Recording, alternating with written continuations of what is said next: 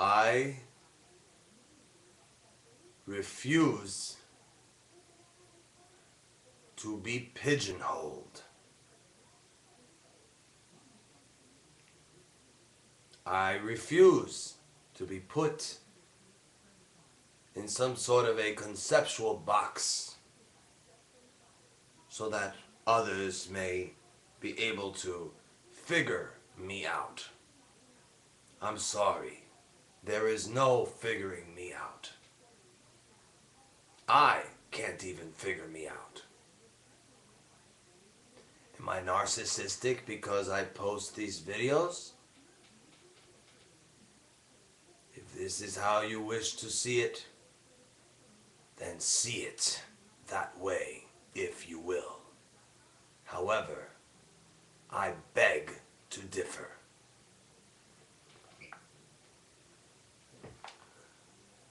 I will be reading from the Diamond Sutra. Transforming the Way We Perceive the World, written by Mu Soeng. As we listen to this beautiful chant, Om Mani Padme Hum, provided by Sukha 911.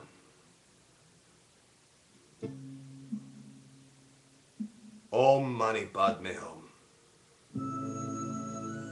Om Mani Padme Hum. Om Mani Padme Hum.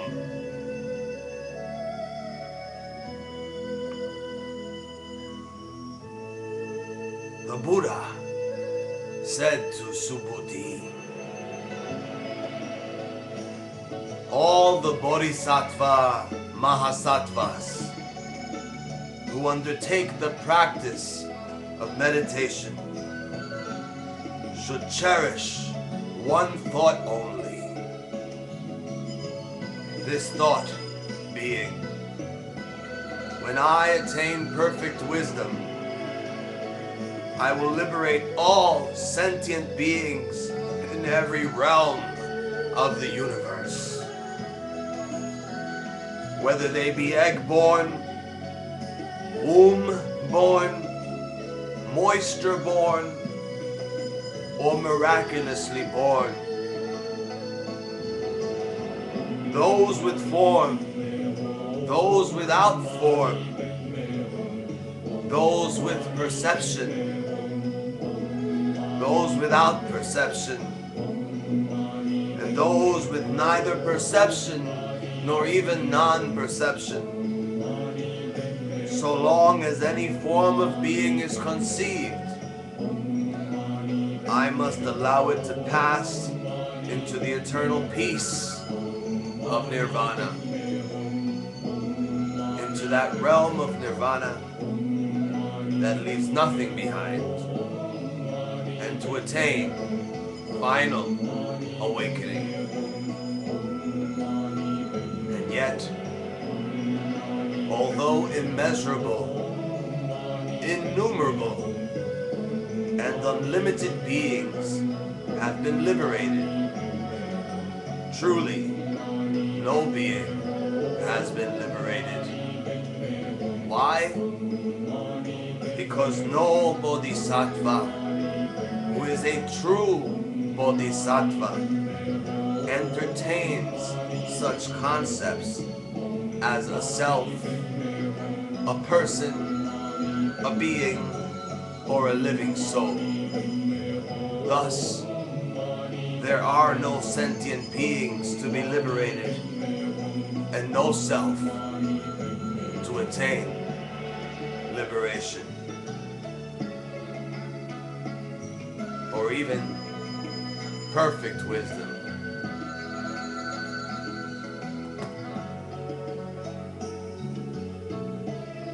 All sentient beings in every realm of the universe. The Buddhist cosmological conception introduces us to a vast universe, challenging our ingrained notion of a human referenced, self limiting universe.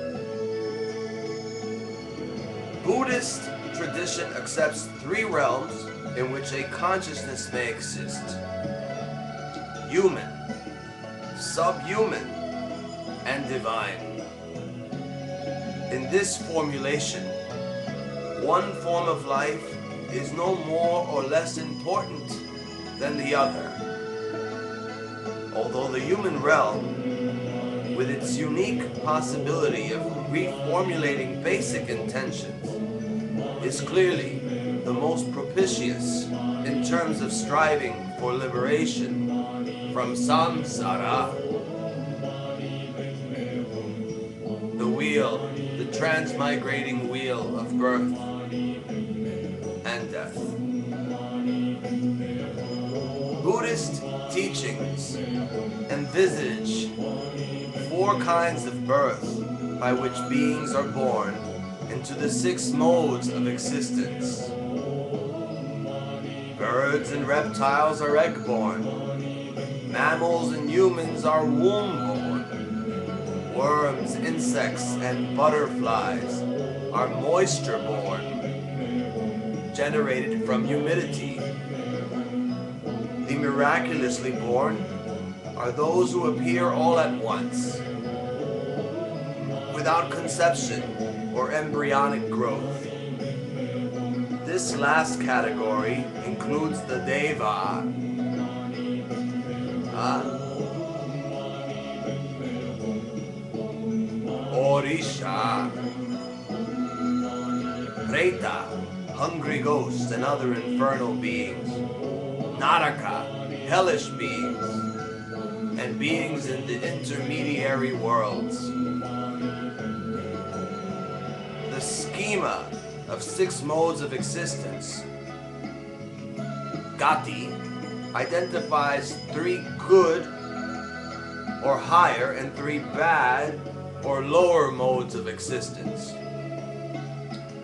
The good modes are those of gods, further subdivided into 26 realms, it says here. Titans and humans. Ah. The bad modes of existence are animals, hungry ghosts, and other infernal beings. And hell beings, said to belong to eight great hells of increasing intensity of torment. In traditional Buddhist cosmology, there are thus 31 realms of existence. The only difference among the various modes of existence is the degree to which the karmic process is being purified.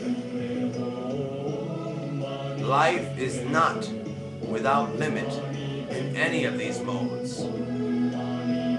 Each human being has been animal, ghost, hell being, and God in the past, and is likely to be so again in the future if the karmic process is not totally extinguished. The human realm is considered the most fortunate because it is only in this realm that there is an awareness of the urgency to work on one's karmic residue and strive for awakening.